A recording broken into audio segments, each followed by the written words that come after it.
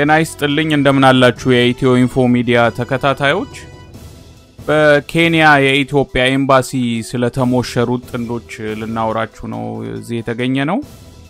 እሁድ ሚያዝያ 20 ቀን 2011 ዓመተ ምህረት ማለትም ትላንትና በፋሲካ ዕለት መሐመድ ጣሂር እና አሲያ አብዱ ጀሊል ባልተለመደ መልኩ ከዛሬ በፊት ታይቶ በማይታወቅ መንገድ በኬንያ የኢትዮጵያ ኤምባሲ ቅጥር ግቢ ውስጥ መሞሸራቸው ተሰምቷል።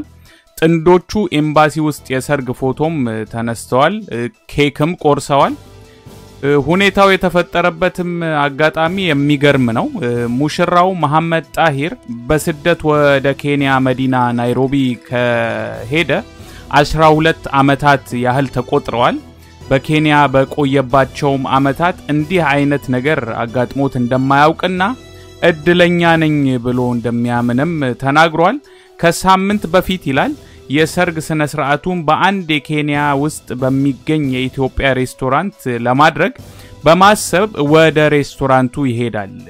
አቶ መሐመድ በኬንያ የኢትዮጵያ አምባሳደር የሆኑት አቶ መለስ አለም እዛው እንዳገኛቸውም ይናገራል። እንደምታስታውሱት አቶ መለስ አለም የውጭ ጉዳይ ሚኒስተር ቃል አቀባይ ሆነው ሲያገለግሉ ቆይተው አሁን በአዲስ ሹመት በኬንያ የኢትዮጵያ አምባሳደር ሆነው ከተሾሙ ወራት ተቆጥረዋል እና እዛ ኢትዮጵያ ሬስቶራንት ውስጥ ያገኛቸዋል ማለት ነው። መሐመድ አቶ መለስን በቅርብ ላገባ እንደሆነና የምሳ ግብዣውንም በሬስቶራንቱ ላደርግ እንደሆነ ለአምባሳደሩ ስነግራቸው ለምን በኤምባሲው ቅጥር ግቢ ውስጥ ሰርጋችሁን አትፈጽሙም አሉኝ ይላል።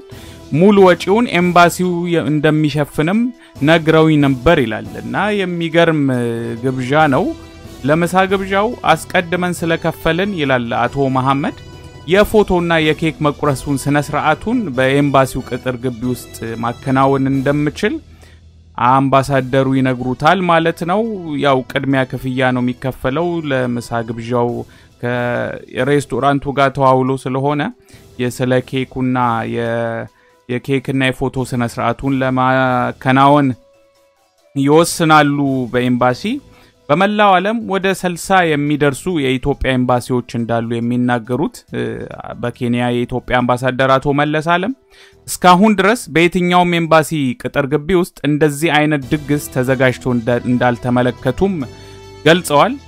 በኤምባሲው የቅርብ ጊዜ ታሪክ ውስጥ ይህ አጋጣሚ የመጀመሪያው ነው ሊባል እንደሚችልም አምባሳደሩ ያስረዳሉ።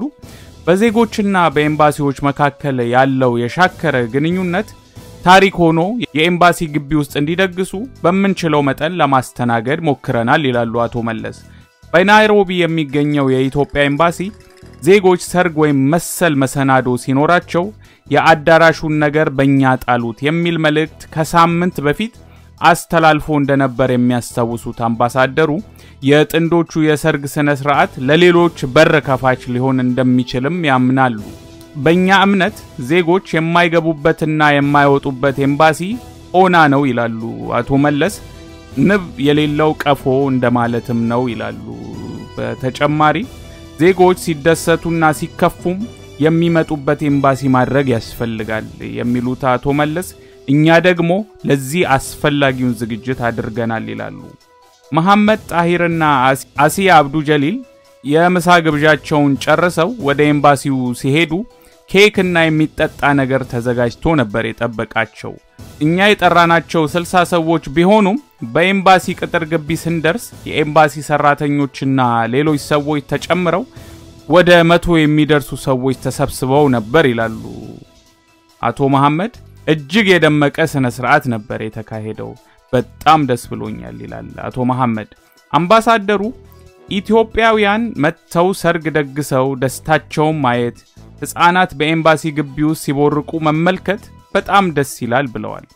ይህ የኢትዮጵያውያን ቤት ነው። ኢትዮጵያውያን ግብር ከፋዮች የሰሩት ቤት ነው። የእኛ አባቶችና አያቶች ባወጡት ገንዘብ የተሰራ ግቢ ነው። ስለዚህ ኤምባሲው ጥቅም ላይ ውሏል ብለን እናስባለን ይላሉ አቶ መለስ። እውነቱን ለመናገር እጅግ የተለየ ድርጊት ነው። በፋሲካም ቀን መሆኑም በሌላው ዓለም ባሉ የኢትዮጵያ ኤምባሲዎች ተሰርቶ የማይታወቅ ሁኔታ ከመሆኑ አንጻር እጅግ በጣም ደስ የሚል ሁኔታ ነው። ለሌሎችም ከዚህ በኋላ ለሚመጡ ሙሽሮች በር የከፈተ ነው። በስደት የሚኖሩ ሰዎች ይሄንን ነገር የሚረዱት ይመስለኛል።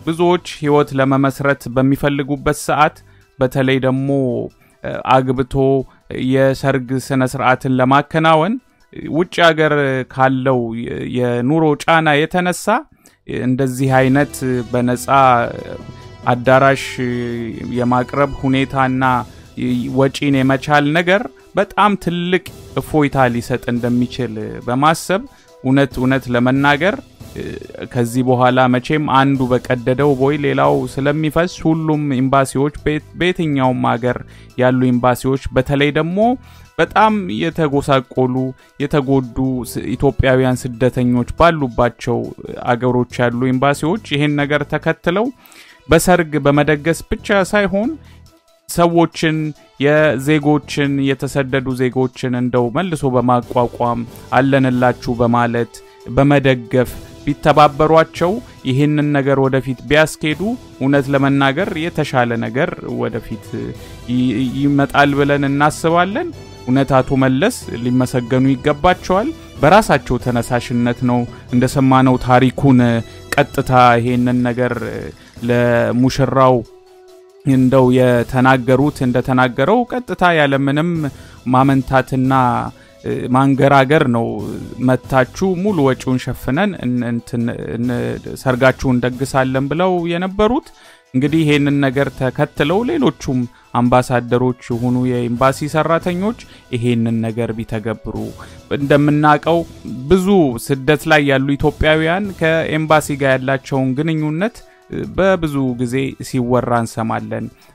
ጤናማ አይደለም። ኤምባሲ ለመግባት ይፈራል። ኤምባሲ አምባሳደሩን ለማግኘት በጣም ብዙ ውጣ ውረድ አለው። ትንንሽ ነገሮች ራሱ በጣም የሚያስቸግሩባቸው ኤምባሲዎች በዓለም ላይ በኢትዮጵያ የኢትዮጵያ ኤምባሲዎች ብዙ ናቸው።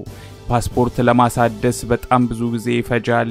የልደት ካርድ ለማውጣት ብዙ ብዙ ችግሮች አሉ እና እንደዚህ እያሉ እንደው ኢትዮጵያውያን ኢትዮጵያውያን ዜጎችን በውጭ ሀገር የሚኖሩ ኢትዮጵያውያን ዜጎችን ከኢትዮጵያ ኤምባሲ ሰራተኞች ከአምባሳደሮች ጋር እያገናኙ የተሻለ ነገርን መዘርጋት እንደው በጣም የሚያስደስት ነገር ነው። ታሪኩ ደስ ስላለን ልናካፍላችሁ ፈልገን ነው ያቀረብንላችሁ። like አርጉ፣ share አርጉ፣ subscribe አርጉ። ቻናላችን ላይ አዲስ ከሆናችሁ ስለምታደምጡን እናመሰግናለን። መልካሙን ሁሉ ለእናንተ ይሁን። ኢትዮ ኢንፎ ሚዲያ የተለያዩ ማህበራዊ፣ ፖለቲካዊና ወቅታዊ ጉዳዮችን እያዘጋጀ ወደ እናንተ ያደርሳል። subscribe፣ comment፣ share በማድረግ ቤተሰቡን እናመሰግናለን።